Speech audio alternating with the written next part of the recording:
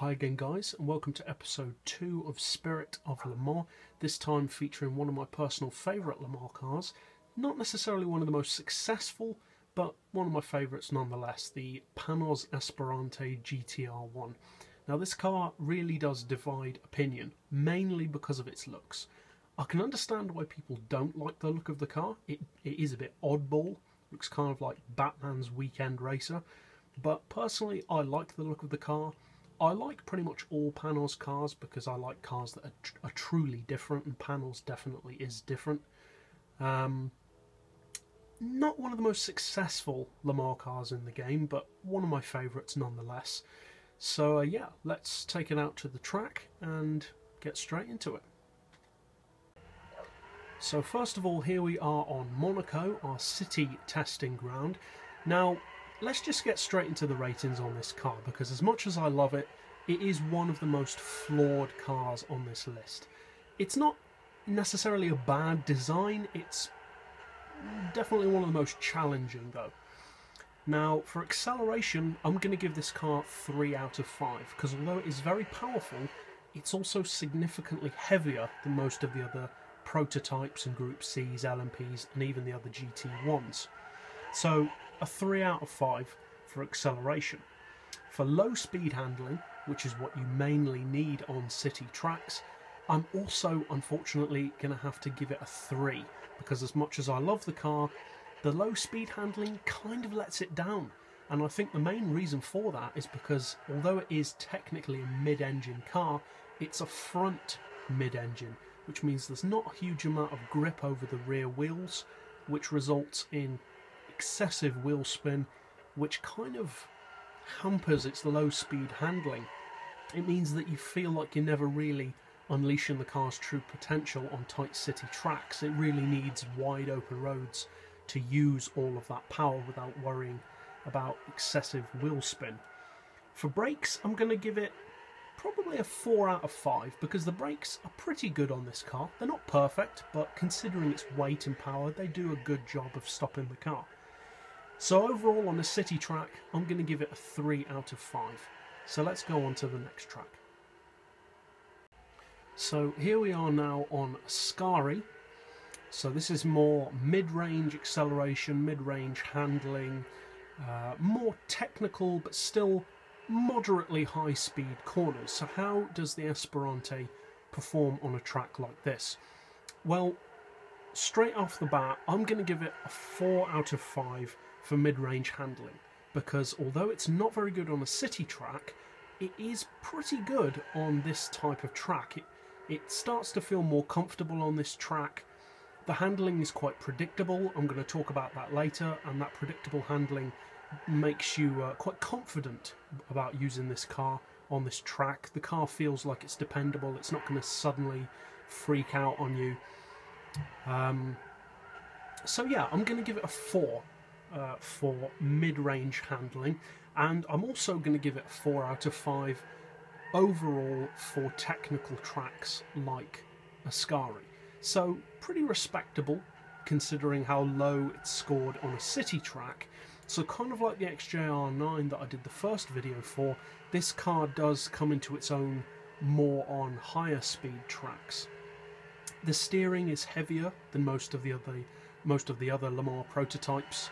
Um, but overall, it's it's a good car. The brakes are good. The handling is, like I said, unsurprising. It's quite a stable car. The biggest letdown of the car is its weight, but again, I'll talk more about that later. But overall, yeah, it's it's a good car. So on Ascari and on technical tracks in general, I'm going to give this car a 4 out of 5. So finally, let's go now to Spa for a roundup. So here we are now on the final testing grounds at Spa. Now as I've said before, this is where most Le Mans cars really come into their own and with the GTR1 it's no exception. Now I would say that this car actually performs slightly better on a mid-range technical track than it does on these high speed tracks. I'm not saying it doesn't perform well here at Spa, it does perform very well, but it almost feels better on the Ascari than it does here.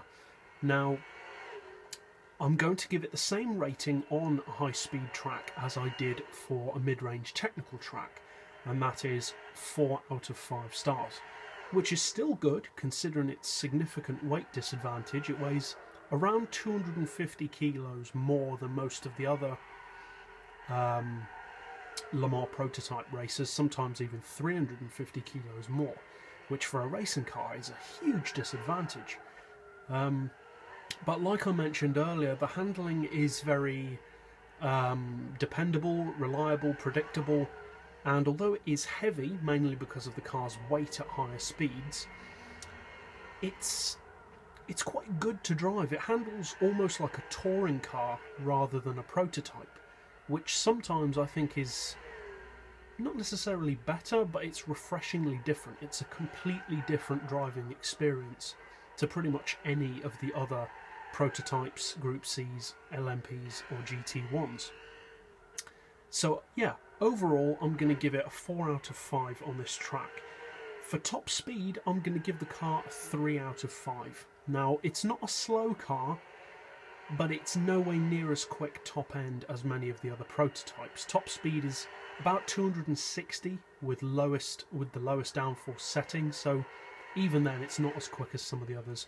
So unfortunately, I'm only giving it a 3 out of 5 for that. But that's it for the testing, so now let's go back to the garage for a final roundup of the car. So, overall, the Esperante is definitely not a bad car. Like I said at the start of the video, it's not necessarily one of the strongest Le Mans contenders, but overall it's a pretty decent car to drive. As I just mentioned, handling characteristics are slightly more like a, a touring car or a GT class car than a prototype. But as I mentioned before, the handling is predictable, which, although heavy, does mean that the car doesn't surprise you with things like snap oversteer, suddenly throw you off the track. You may end up going off of the track, but at least you know that you are going to. And the reason why is because you didn't judge the corner properly. It's not the car's fault. So overall, definitely not the strongest contender, but a very good car nonetheless.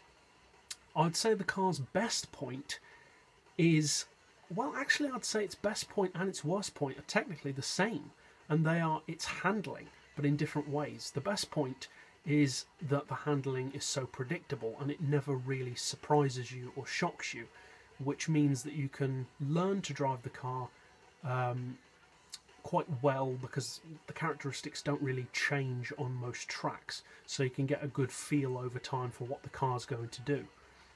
At the same time, the main thing that gives it that handling characteristic, which is its weight and the, the layout of the drivetrain being front mid engined, is also its downside because it does have a lot, lot more weight than any of the other Le Mans cars, and it does show, especially on city tracks and that is its main downfall. That handling or that weight does affect its handling. It makes it heavier, although predictable.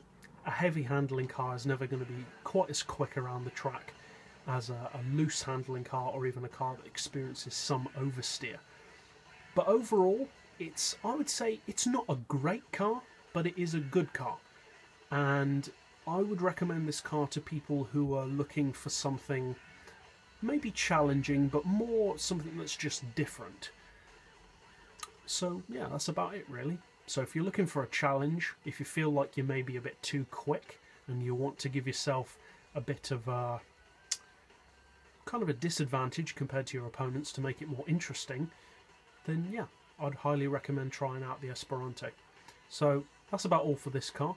So, as always, thanks for watching.